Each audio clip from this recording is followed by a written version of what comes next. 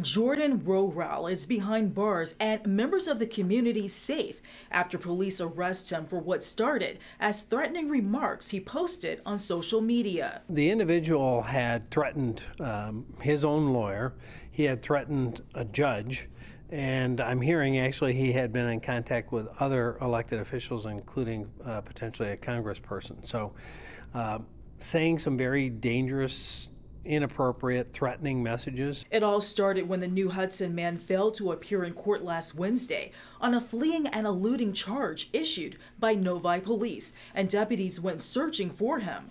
That's when the mother of the suspect's child told police about the threatening messages. Actually was seen driving outside of the courthouse of the judge he had threatened and t- took off running. And police kept searching. He ran from a number of police agencies, including in Ohio, where they chased him back into Michigan, and obviously their jurisdiction ended. It took about two days. Different police agencies tried to take him into custody. He kept running. That's when the Oakland County Sheriff's Office fugitive apprehension team stepped in. And ultimately, my fugitive apprehension team found him in Brighton, where he still tried to fight and run, and he actually ended up breaking some facial bones on one of my detectives. Fox 2 reached out to Judge Travis Reeds and the attorney, who both were the target of threatening messages by the suspect, and neither would comment.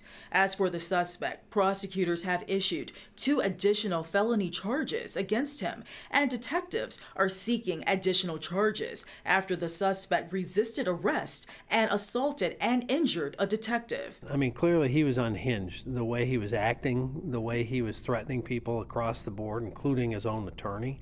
Dangerous minded and dangerous acting individual. I'm uh, very proud of our fugitive team that found him and took him off the streets. And Pontiac, Ingrid Kelly, Fox 2 News.